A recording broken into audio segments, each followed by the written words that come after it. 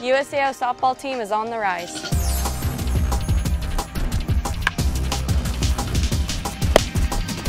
We'll need your help to continue the momentum.